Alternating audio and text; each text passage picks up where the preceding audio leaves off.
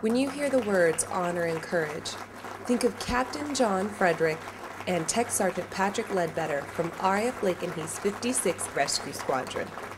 I received a Distinguished Flying Cross today. I'm pretty excited about getting it. Um, it's obviously a huge honor. Um, a lot of other guys were there to, to earn the, uh, the same honor with me, and so that was nice. I received the Distinguished Flying Cross today, and I feel very humbled receiving this because it was part of a crew to uh, do this in a team, from maintenance to ops to intel to uh, the cast of the Brits overhead that day to get the mission done.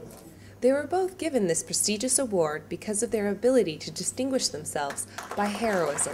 I received the, the medal today. Um, essentially, we were doing a, a, casualty evacuation or a medical evacuation mission in uh, Afghanistan. And uh, I basically just received it um, because it was a little bit more of a high-risk mission, um, and we still went in and we received fire, and, and, we pulled the guys out, and we had a we had a life saved out of it, and so that's that's kind of what we're all about, and so it's really neat. Um, we uh, were called in to pick up a uh, British soldier who was injured. We roll in on the scene, and we're uh, under heavy fire two times trying to land in the zone to get in there. The uh, Apaches overhead put down suppressive fire twice to get us in there. The third time, we were fortunate enough to get in there without any uh, casualties to us and uh, pick up the British soldier and one other soldier that was injured.